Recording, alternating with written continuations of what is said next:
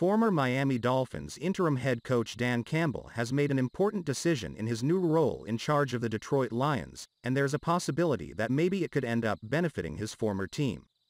Campbell confirmed Thursday morning that the Lions will be looking to trade veteran linebacker Jamie Collins to give more playing time to younger players on the roster, and a quick game of connecting the dots certainly would suggest the Dolphins as a possible destination.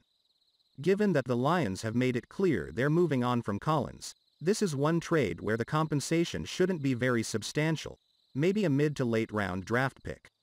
It was with the New England Patriots in 2015 that Collins earned his one Pro Bowl invitation and one of the assistants on that staff, of course, was Dolphins head coach Brian Flores.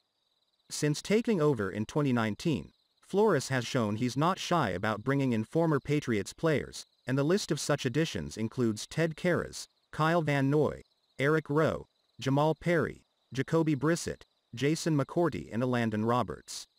Roberts and Jerome Baker are the top two inside linebackers on the roster, but the team could use a proven veteran like Collins.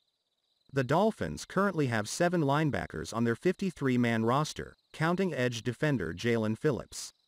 The others are Roberts, Baker, Andrew Van Ginkel, Duke Riley, Sam Eguavoen and Brennan Scarlett. Campbell said there have been suitors for Collins' services, though the identity of those teams has not been revealed.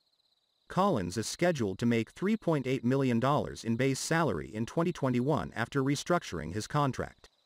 Collins, who will turn 32 on October 20th, has started 102 of his 112 NFL games, including both of the Lions' first two games this season. During that Pro Bowl season of 2015, Collins had 5.5 sacks and 5 forced fumbles. In his contract year of 2016, when Flores became the Patriots linebackers coach, Collins was traded to Cleveland for a conditional third-round pick but he came back to New England in 2019 and set a career high with seven sacks.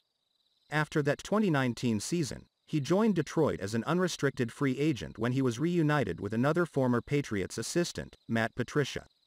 Patricia now has back in New England, and perhaps not coincidentally the Patriots have been mentioned as a possible destination for Collins.